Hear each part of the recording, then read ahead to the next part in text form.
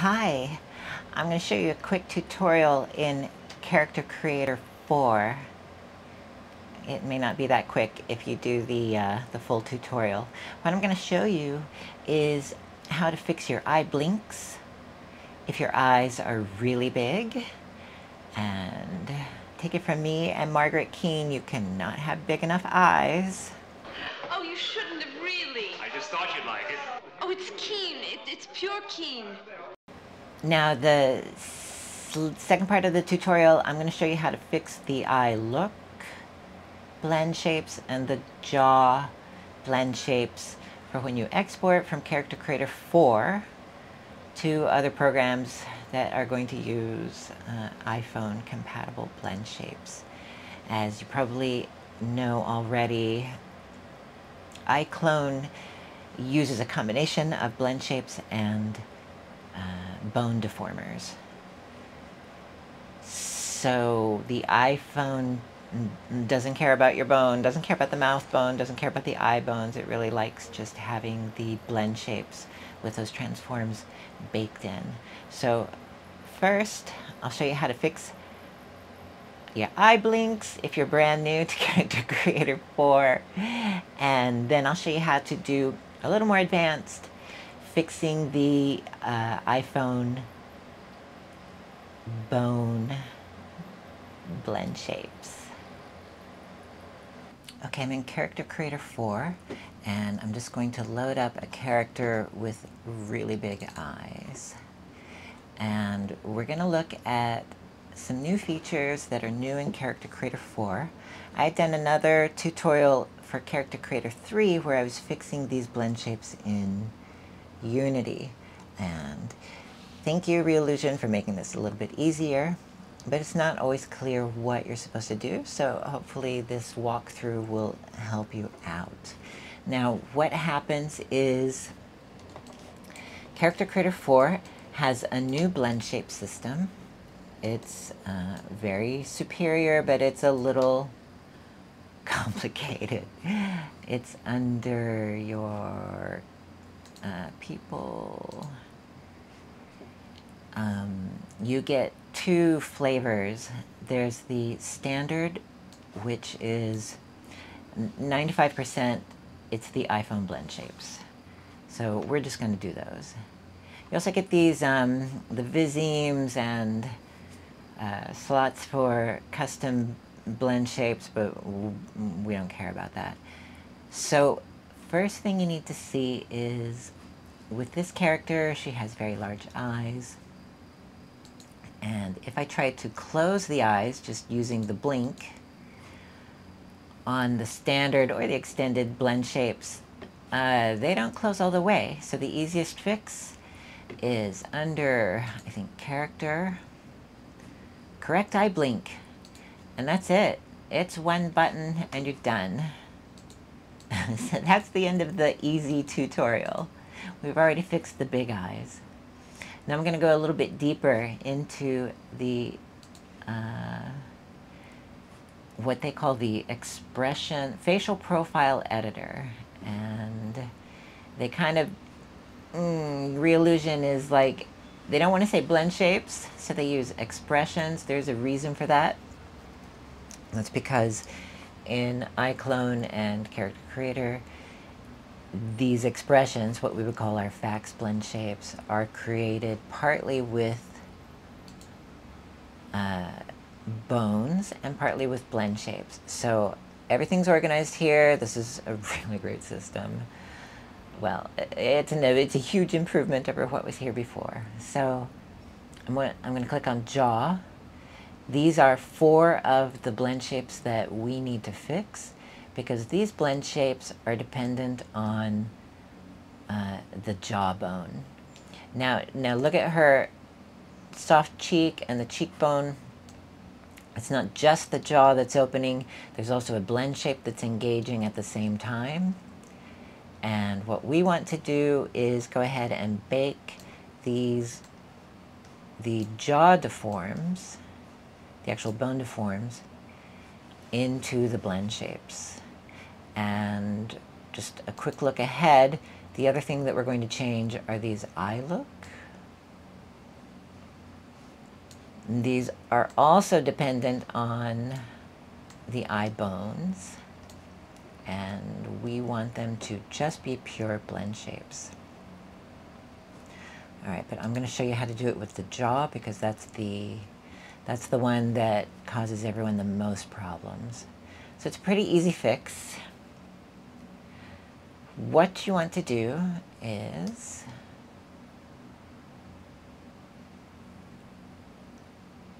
open up the jaw. We're going to export mm, OBJ. Uh, now see how there's this nude character in bind pose? That's what you normally would want to export, but we want it to export with the facial expression nude bind pose. And I am just going to make these full body. Oh, I also want those teeth. Mm, full body. full body is what you want. and we're going to hit export. Now this is the warning that we want. It says the current facial expressions contain bone offsets. We know that. That's what I explained to you. Uh, bone offsets can have adverse effects on facial data when you import it back into Character Creator. So understand these uh, morphs, when we load them back in, are not going to use the jaw. They're going to look like they do, but they're not. So go ahead and save it. Just going to put it in a new a new uh, folder.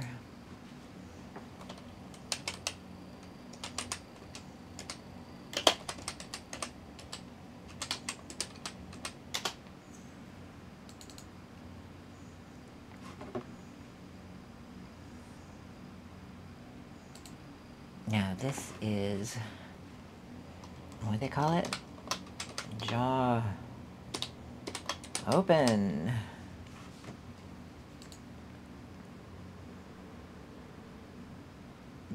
Boom. Now, what you're going to do is you're going to go ahead and export all four of these. I'm going to set this back to zero for now. And all eight of the eye look morphs. That same way, you're going to export them. You're going to get that warning pop up that warns you that there are bones involved in these shapes. That's what you want. Now, pretend that you've done all that. I'm not going to do it because you're going to do it. and what we want to do is we're going to just actually overwrite right on top of the existing morphs.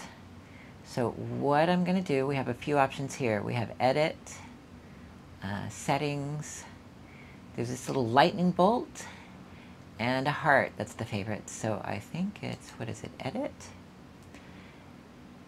Yeah. And what I want to do is load a new file. Why can't you remember my folders? Make sure you click on the right one. Now what we didn't see is that Reallusion also exported a checksum key and as long as you keep the names the same, it's going to easily find, and it's in the same folder. Uh, Reallusion will find that checksum and load it back on automatically. And uh, I think that's all I am doing. Okay. That's it. I'm hitting OK. And it's loaded. It set it automatically to 100, so I see the morph right here on her face. Now, it doesn't look like anything's changed, but it has. This is profoundly different. She's no longer using her jaw bone in this particular morph. Okay, so what you're going to do is you're going to go ahead and edit the other three jaw morphs. And then you're going to go into the eye look and you're going to edit and import all eight of your bone-free eye morphs. Now, I'm not going to go through the whole process, but you can figure it out. It was just like that. We're going to drop out of the expression editor and I'm going to drop back to content. Where are you? Now I've just created a special set of blend shapes and I'm going to save them so that they can be loaded onto other figures. So I'm going to go into the custom and spoiler alert, I've already done it. It's called Bone Bake Standard and I'm lazy so I'm just going to load these onto this figure. This is the full standard blend shapes that I had before but with those customs, okay? How I saved it was just, I have the figure with the blend shapes edited, I just hit save, and now you see that I did this before on the generic figure, but once you do this once, you can load it onto any of the figures. So I'm going to do the one where I prepared all eight eye looks, all four jaw, and that's what this is. And I'm going to apply it. And that's it. That's all I have to do since I've already saved this as a preset. Oh, oh, there's, there's one more thing I have to do. I forgot because the eye blinks are need to be fixed. So character, correct the eye blink. Probably should do that on every character just before you export. And then I'm going to save this character.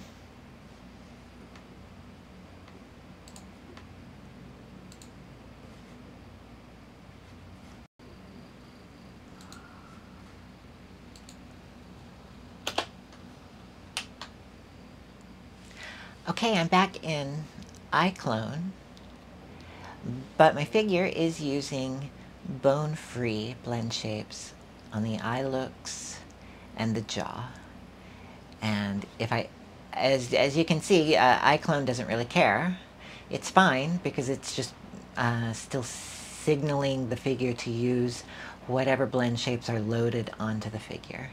So you're, you're good to, to go. Um, it doesn't break in iClone, but, but the caveats are, of course, if you use like the Victor Days exporter to Unity, for example, I think he has uh, an editor that will rebake the animations and they will bake in the those jaw and eye. Don't do that. So this will break those figures or it'll make them incompatible. Where you can use this is anywhere uh, anywhere that you need to animate with an iPhone and you don't want those jaw bones or eye bones. All right, kids, I hope that helps. I hope you got uh, something out of this, and I hope you make your eyes as big as possible.